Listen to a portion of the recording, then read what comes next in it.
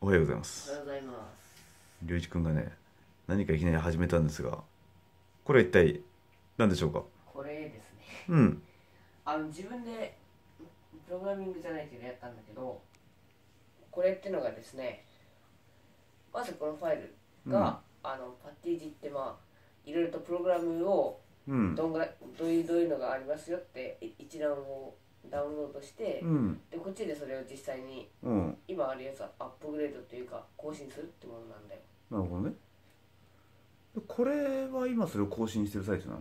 そうあのこれ今クリックで使えてるんだけど、これ全部。なんか見てて頭が痛くなってくるなこれな。俺もよくわかんない。これ龍一くんのパソコン。そう。ラズパイ。めっちゃくちゃ安いし 結構ラズベリーパイとか CPU 触んない。だよね CPU だよねこれね。いやこれ今放熱なんとかついてる。うん。けど、その人に CPU とかはあ面白いよね。負荷かけるとめっちゃくちゃ安くなるんだよね。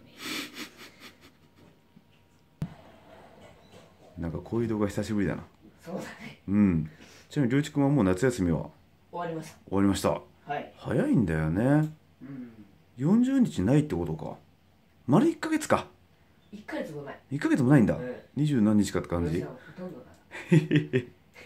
頑張ってください。はい。大体夏休み明けたらあれか？体育あ文化祭があるのか？文化祭がある。あるね。うん。いろいろ準備やったりとか。はい。楽しんでくださいとか。朝から何やってんのかなと思って 久しぶりにこういう動画撮ってみました。はい。はい皆さん本日もよろしくお願いします。私は本日も仕事です。行ってきます